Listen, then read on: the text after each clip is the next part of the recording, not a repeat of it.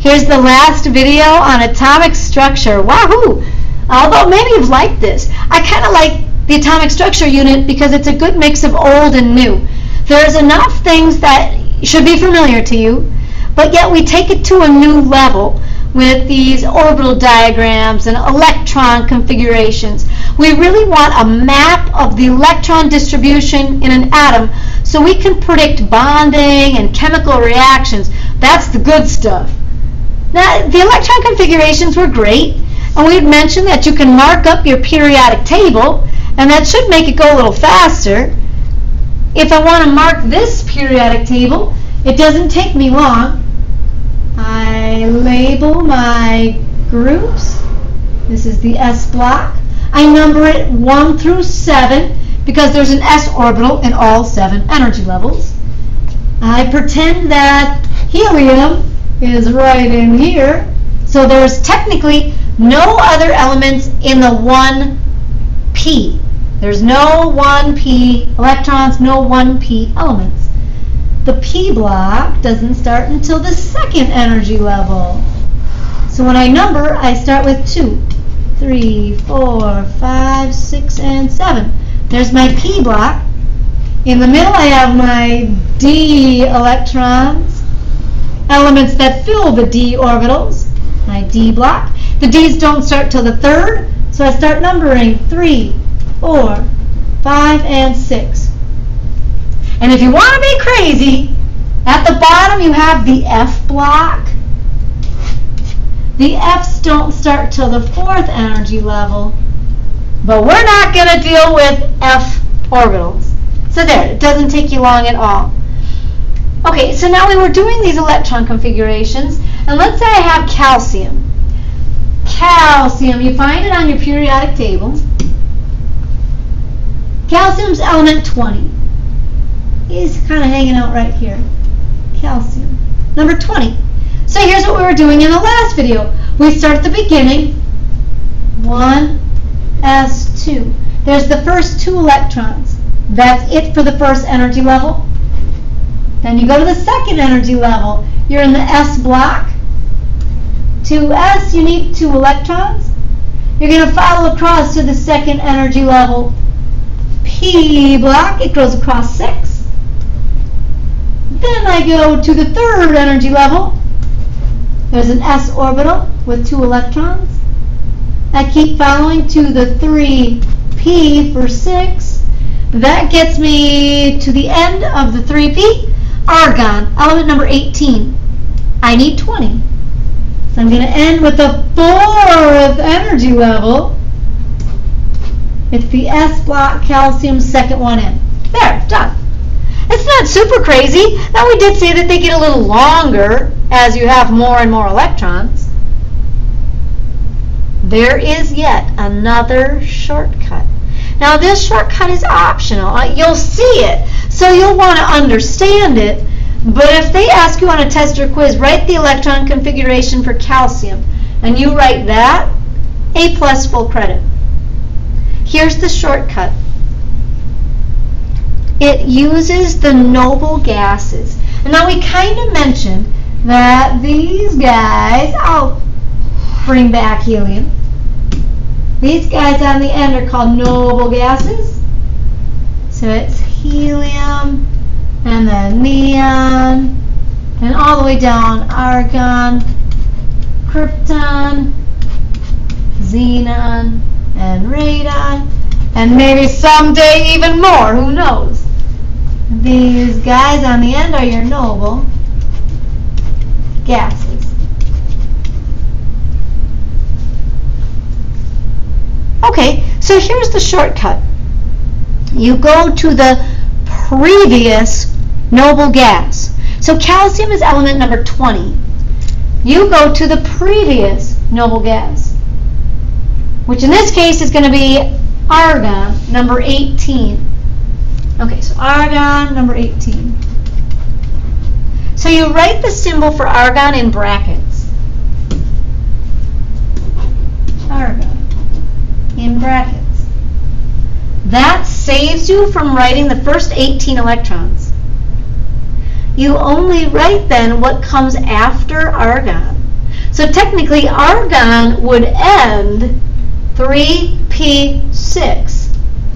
You're saving all of this. All of that? That's argon. The 1s2, 2s2, all the way to the 3p6, that's the first 18 electrons. That's like argon. So you can put the noble gas symbol in brackets, and then you only have to write what comes after. 4s2. There, done. Argon 4s2. That's the noble gas shortcut for electron configurations. Now again, if they asked you, what element is this? You have a couple options.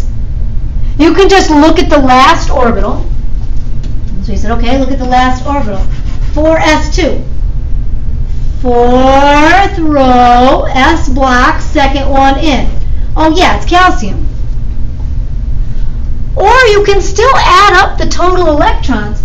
Putting argon in brackets saves you 18 electrons. So you've got 18 from the argon plus two more. 18, 19, 20. Element number 20 is calcium. Done.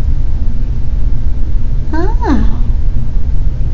Okay, so let's try another one with the shortcut. Let's try manganese shortcut. Manganese, manganese, where are you? You're number 25.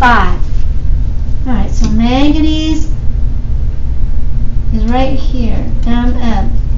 Number 25. I'll mark that in, number 25. So we go to the previous noble gas. It's not necessarily the closest, it's the previous noble gas, which in this case would still be argon. So you can write argon in brackets. That saves you again 18 electrons. Now you can just start with what comes after argon. Oh. So that lets me start with 19, which is already in the correct row. So argon, and then after argon, I'm in the 4s for 2. And then I have it written in, so I'm never going to forget. This is the 3D. Manganese is 1, 2, 3, 4, 5. 3D5. Argon is number 18. So this shortens it up by 18 electrons. 18, 19, 20, 25. Element number 25 is manganese. That's kind of cute. I think it comes in handy. Let's say you want to shorten up chlorine. All right, chlorine, chlorine, where are you? Oh, tricky. Chlorine is number 17. So there is no way of going like argon minus 1. I get it. I, argon's right there. But you always have to go to the previous noble gas. So in this case, that means if you want to do the shortcut, you're going to have to go backwards to neon number 10. Ah.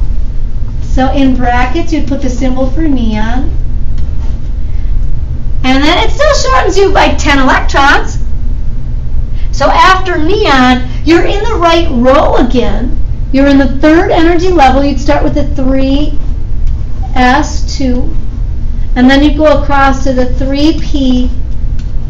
Chlorine is 1, 2, 3, 4, 5. Neon is 10 electrons. So neon, this is saving me 10 electrons. 12 and 5 for 15, or 17. Element 17, chlorine. I like this for the big guys. Chlorine, I could take it or leave it. I mean, shortening the first 10 electrons, it's fine. But it doesn't like change my world, I guess. But when I get to bigger atoms, I do really like this noble gas shortcut. So again, if at this point you're feeling relatively confident, hit pause, try germanium and silver and then bring it back and let's see if you're getting them right. If you need a little more assistance, we're going to walk through germanium and silver as well. All right, so let's do this guy. Germanium is number 32. Number 32. So he's kind of like right in here. Germanium. And again, you'll always have a periodic table. You don't have to memorize the symbols or any of that stuff. Just look them up. Okay, so I'm going the previous noble gas, which again, I get that he's really close to krypton. Krypton is right there, number 36. But you got to go backwards. So I do need to go backwards to argon again. Argon saves me 18 electrons and it puts me in the right row. So I'm starting now right here at the 4s per 2. I got to keep going across the 3d. Good thing I have it marked in. The 3d goes across 10. And then finally, again, I like to have this marked in to remind me that I'm back to the 4p. 4p, germanium is the second one in. Argon is 18. 18 plus 2 is 20. 20 and 10 for 30, and another 2. Element 32 is germanium. Done. Not bad, eh?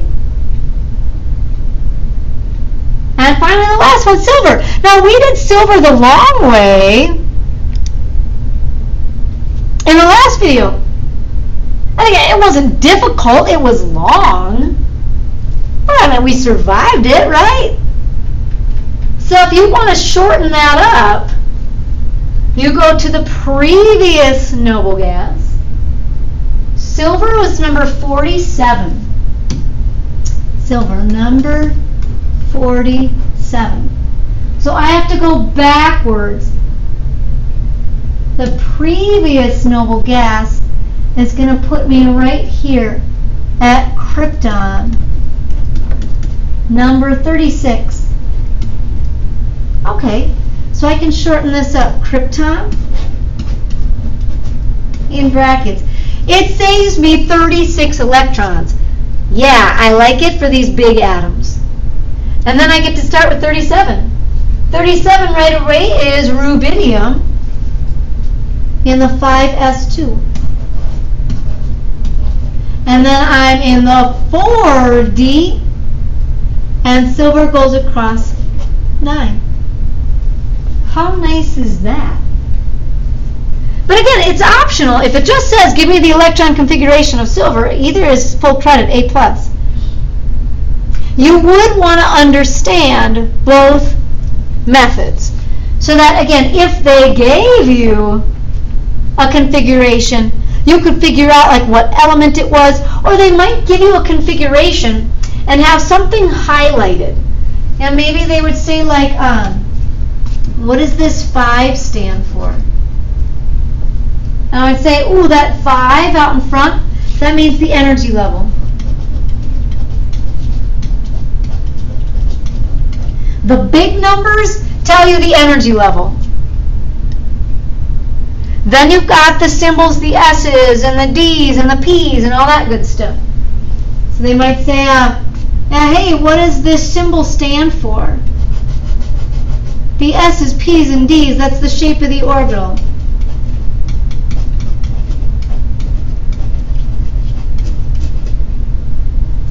And then finally, they might have, like this guy highlighted.